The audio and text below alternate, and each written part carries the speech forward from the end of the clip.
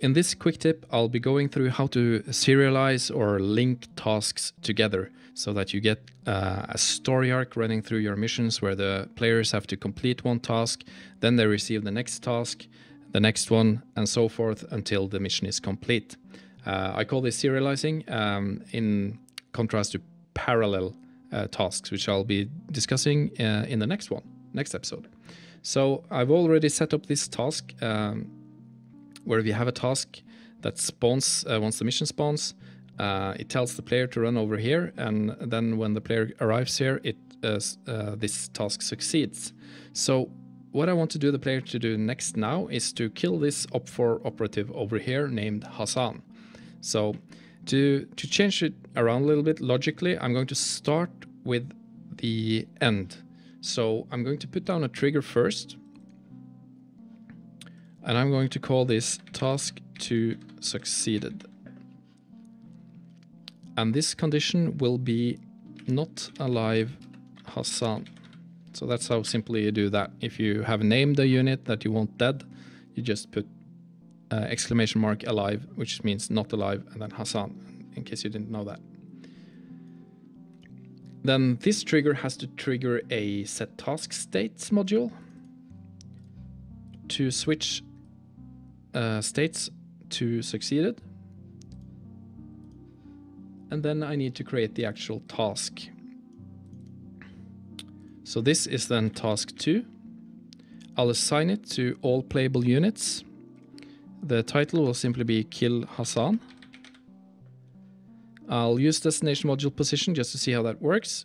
I'll remember to switch it to assigned directly, so it actually shows up to all the playable units. And for funsies, I'm just going to switch the task type icon here to, uh, to attack. So this should work. And synchronize it to this. And remember to now move the module position, so because now the destination marker is going to be right over this module uh, um, icon. So I'm moving it just next to Hassan here so that the um, destination will show up correctly.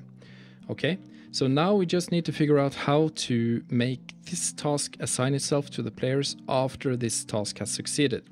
And to do that, it's quite simple. I'll put down a trigger, synchronize that one to uh, the create task module. I'll open that one up and I'll call this task to assigned. And in the condition field, I'm going to do a trigger activated command. So this will uh, ask if an other trigger has actually activated or not. And since I, since I remember uh, what my uh, triggers are called because I named them correctly, uh, I'll ask if task one successful trigger has been activated.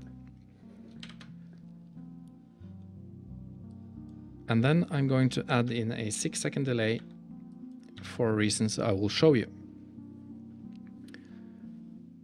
So this trigger is now waiting for the task one to succeed.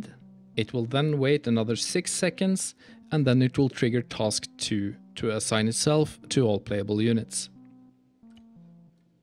Let's just pop in and see how that works. Now, the reason why I put in a delay uh, in the task 2 assigned uh, trigger is if not the uh, task 1 succeeded and the task 2 assigned notification will overwrite each other on top of the screen. Screen, sorry.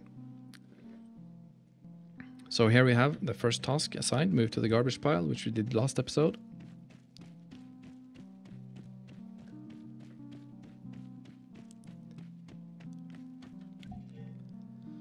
Once that is completed, we get the notification for task complete and then we get task assigned. If I didn't put in that delay between the two triggers, uh, it would be horrible. The two would arrive at the same time and the sound would overwrite and the, the image would overwrite as well.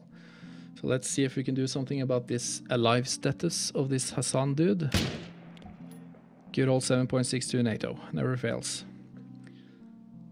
So there we have it. That's two tasks linked. Now I'm just going to pop back right in and uh, and uh, and make a third one just uh, so we get a bit more uh, into the logic of it. Um, and I am going to do it the other way around again this time. So I'm going to start with the assign trigger.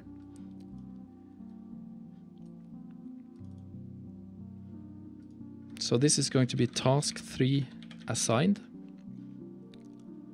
And the condition for this is trigger activated task, oops, that was caps lock. Task 2, yeah, succeeded.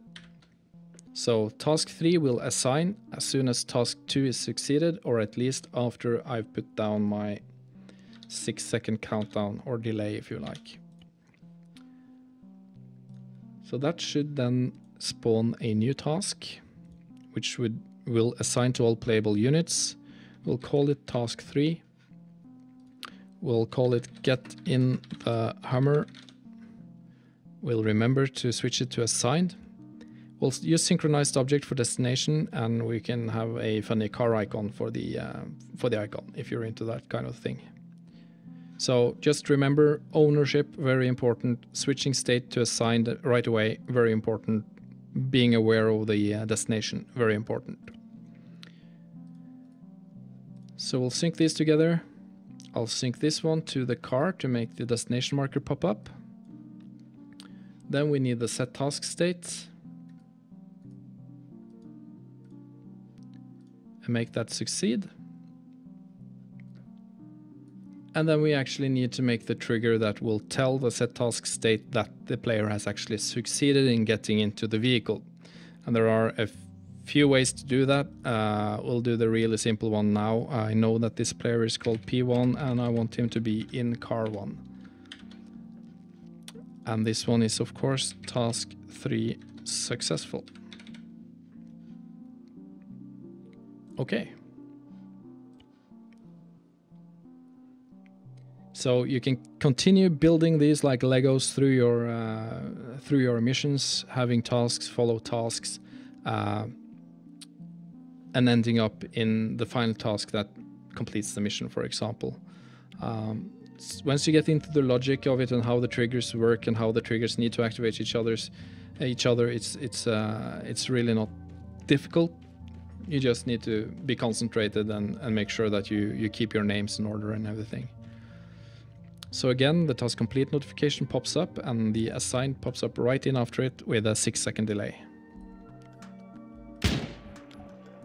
Hassan is dead, so another 6 seconds should go by and we should be assigned the new task. And now as soon as the player named P1 enters the vehicle called Car1, the final task should be complete.